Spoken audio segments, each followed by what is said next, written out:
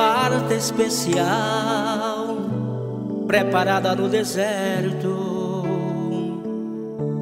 como água fresca do manancial, vinda no momento certo, como chuva que cai em pleno verão,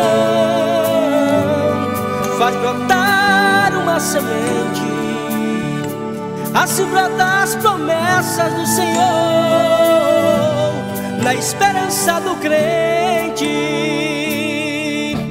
Deus faz assim, vela por mim, me ama. Aleluias! Glória a Deus! Bom dia, povo de Deus! Bom dia, meus amados irmãos e irmãs! Bom dia, pastora Jossanete! Bom dia, pastor. A paz do Senhor, Deus faz assim. Vai fazer assim, continuando Nós, assim. nós tivemos ontem Foi em bênção, um banquete. Nova Esperança, né, em praça pública, a comemoração de um ano do ciclo de oração da Pão da Vida de Nova Esperança. Foi algo tremendo, maravilhoso, para a glória de Deus. Ficamos muito felizes, não foi, amor? Foi bênção. Foi bênção de Deus. Fizemos uma pequena live de lá, né? Acreditamos que os irmãos acompanharam, vimos já. Já no quase no finalzinho, É. né? Glória a Deus. Mas, queridos, a, a mensagem de hoje é: as dúvidas trazem a incredulidade. Creia e viva o sobrenatural. Vamos entrar nessa mensagem. Essa mensagem vai falar ao seu coração, porque ela traz um grito de alerta a todos nós. Muitas vezes nós não queremos viver amparados unicamente na nossa fé, mas a palavra de Deus nos ensina isso. Nos ensina a viver a fé em Deus, a ter a certeza dos cuidados dele em nossas vidas. Nos ensina de que sem fé é impossível agradar a Deus. A fé é o firme fundamento das coisas que vêm à existência, né? Aleluia. O crente ele não vive na dúvida, ele vive na certeza. O crente Verdade. vive a certeza do poder de Deus para trazer à sua vida tudo aquilo que ele às vezes não crê que seja possível. E essa fé do crente é algo tão extraordinário que transforma ele às vezes num sonhador. Muitas pessoas têm os crentes como sonhadores. São sonhadores, sonham demais, vivem demais os sonhos, né? Mas nós sabemos que isso é uma grande verdade, nós somos sonhadores mesmo. Sonhamos com a nova Jerusalém, sonhamos com as coisas belas que Deus tem para nós. Vivemos por fé e não por vista. Porque o nosso Deus, ele é especialista em trazer à existência o que não existe. E nós vivemos assim, acreditando neste sobrenatural do nosso Deus, que faz todas as coisas acontecerem. A própria palavra de Deus fala sobre isso. E a dúvida, às vezes, ela traz tristeza ao nosso coração, embora faça parte da nossa vida. A dúvida traz a incerteza. E dependendo das circunstâncias, traz o desânimo, por vezes causa medo, e o medo pode nos paralisar, por isso a dúvida é uma inimiga que nos impede de viver aquilo que Deus tem para nós. Verdade. A palavra de Deus diz que nós temos que crer no Deus que tudo pode. Diante das dificuldades da vida, nós recebemos uma palavra de Jesus Cristo que está escrita no Evangelho de João, no capítulo 14, no versículo 1. Não se perturbe o coração de vocês. Creiam em Deus, creiam também em mim. Jesus Aleluia. estava dizendo: não se perturbe, não.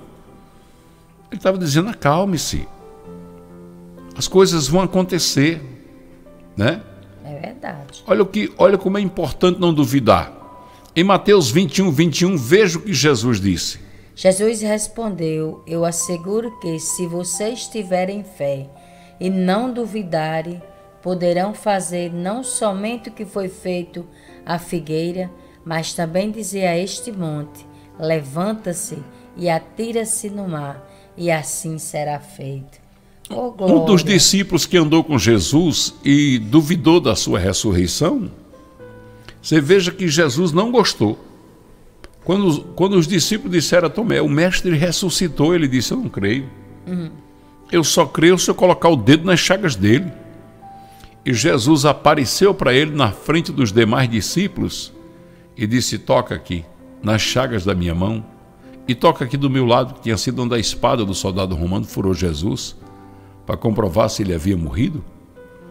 Olha a resposta de Jesus a Tomé em João, Evangelho de João 20, 27. E Jesus disse a Tomé: Coloque o seu dedo aqui, veja minhas mãos, estenda a mão e coloque-a no meu lado. Pare de duvidar e creia. Esse Aleluia. pare de duvidar e creia. Quantas pessoas nessa manhã não amanheceram duvidando do poder de Deus? Exatamente. O que é que eu vou fazer? O que é que eu tenho que pagar? Como vou fazer? Duvidando, né, pastor? É. Mas Deus está dizendo que creia.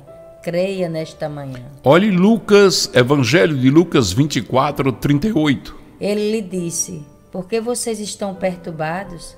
E por que se levantaram dúvida no coração de vocês? Jesus dizendo: Por que se levantou Aleluia. dúvida no coração de vocês?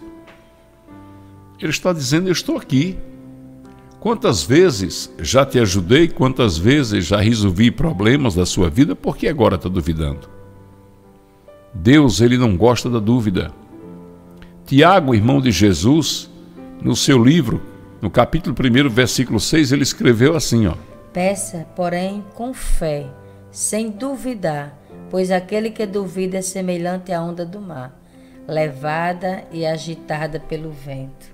Tá vendo aí? Aleluia. Então, olha, irmãos, muitas vezes nós ficamos duvidando das coisas que vão acontecer em nossas vidas, mesmo diante de uma promessa de Deus, e isso vai entristecer o coração do nosso Deus, porque Ele tem planos e projetos para nós, e Ele quer nos amparar, nos abençoar, Ele não quer nos ver assim, como estamos vivendo, duvidando, não acreditando nas coisas maravilhosas que Ele pode fazer, nas mudanças, no socorro de Deus que chega à minha vida, à sua vida, trazendo transformações. Aleluia. Talvez você esteja precisando ouvir exatamente uma palavra de Deus para a sua vida, dizendo para você que Deus está no controle da situação, que você já, já entregou a situação, já, já está admitindo a derrota, mas Deus está dizendo: não, eu estou no controle da situação, eu tenho um controle absoluto de todas as coisas, e eu darei vitória a você. E essa vitória que Deus nos dá não é uma vitória qualquer, é uma vitória com segurança de quem tem todo o poder, toda a honra e toda a glória para mandar no universo e em tudo que nele existe. O Deus que criou todas as coisas hoje está assegurando a você isso. Veja que a palavra de Deus em Hebreus 11, 6. Sem fé é impossível agradar a Deus, pois quem dele se aproxima precisa crer que ele existe e que recompensa aqueles que o buscam. Recompensa Aleluia. quem? Quem o Os que buscam. buscam. Buscam com fé, É verdade. buscam na certeza de que ele chegará com providências. É isso que a palavra está dizendo. Olha, Deus ele, ele tem uma particularidade grande, que é por ele ser Deus e ser poderoso, e tudo ser possível a ele, ele não se agrada quando você coloca dúvidas naquilo que ele pode fazer por você. Primeiro, ele não vai fazer somente porque você mereça. Verdade. Não. Ele vai fazer porque ele se agrada. A decisão de Deus de fazer algo na sua vida porque ele se agrada de você. E uma das coisas que agrada a Deus é a fé, é a confiança. Vamos ver aqui o que diz Provérbios, capítulo 3, do versículo 5 ao versículo 8. Confie no Senhor de todo o seu coração e não se apoie em seu próprio entendimento. Reconheça o Senhor em todos os seus caminhos e ele endireitará suas veredas. Não seja sábio aos seus próprios olhos. Tema o Senhor e evite o mal. Isso dará a você saúde ao corpo e vigor aos ossos. Aleluia. Aleluia. A palavra está dizendo que nós temos que confiar em Deus. E Ele vai nos dar isso. Ele vai nos dar alegria. Alegria para vivermos na Sua presença. Aleluia. Às vezes as lutas são tão grandes que a gente perde, perde a fé. Mas não é isso que Deus quer. Deus quer que ao enfrentarmos as batalhas da vida tenhamos a coragem de dizer: eu passarei por essa situação Aleluia. e sairei vencedor dela, porque o meu Deus é que está no controle da situação. É verdade. Então, agora nós vamos fazer uma oração. Obrigada, Jesus. E nessa oração nós vamos pedir a Deus que nos dê exatamente isso, confiança, fé, para não duvidarmos em nosso coração. Vamos dizer para Deus, maravilhoso Pai, Obrigada, Santo Deus. Jesus. Queremos começar pedindo perdão porque às vezes não cremos nas maravilhas que o Senhor efetua, realiza em nossas vidas. Pai, muito obrigado. Obrigada, Jesus. Muito obrigado por nos compreender, muito obrigado, Senhor, por nos dar a alegria de viver na tua presença.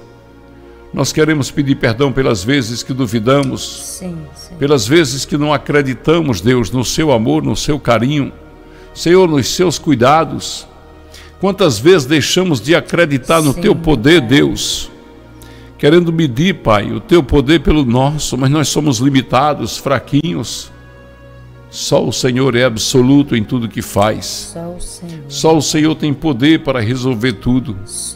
Por isso, Pai querido, Deus amado, nesta oração nós queremos pedir que o Senhor entre com providência na vida dos enfermos, dos doentes, dos cansados, dos deprimidos, Sim, dos desempregados, dos necessitados, Deus. É, Deus, é a tua Aleluia. presença, Deus, é a tua providência, Pai, Senhor, que nos traz alegria, esperança no coração.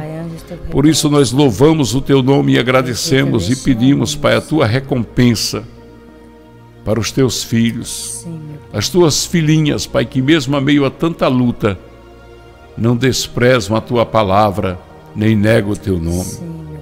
Abençoa, Jesus, cada um dos teus filhos que são dizimistas e ofertantes da tua obra, que ofertam com alegria, Deus, que fazem a obra com alegria. Nós queremos pedir, Deus, que o Senhor estenda sua mão santa, soberana e poderosa sobre a vida de cada um deles e delas. E derrame, Deus, da tua glória, da tua bondade, Deus. Consola os corações aflitos, cansados. Tira da depressão aqueles que estão tristes, abatidos e revigora, Sim, Deus, em nós a força, Senhor. É, Paizinho. Ó oh Deus, o vigor para continuar lutando, acreditando e sabendo que Tu és Deus Só de poder Senhor. e de misericórdia. Sim. Abençoa, Pai, cada um dos irmãos e irmãs que estão em conosco. Nome de Jesus. Que estão aqui, Deus, cientes do Teu imenso poder, honra e glória. Aleluia. Tu és o Deus que tudo pode Tu és o Deus que realiza maravilhas. Por isso louvamos o teu nome e agradecemos. Muito obrigado, Senhor. Obrigado, Pai, por tudo. Em nome do Senhor Jesus. Amém, meu Deus. Amém. Muito bem, queridos, a gente se encontra com a permissão de Jesus Cristo daqui a pouco no culto do lar. E nesta sexta-feira tem o culto de ensino da palavra. É sim no Templo Sede com transmissão ao vivo pelo YouTube e pelo Facebook. Deus abençoe a todos, muito obrigado. Compartilhe esta live, esta oração com esta mensagem. Tem vidas Jesus, esperando. Né, é. Faço ide. É, faço ide. Obrigado, amados. Beijo no coração. Deus Fica abençoe a todos, em nome de Jesus.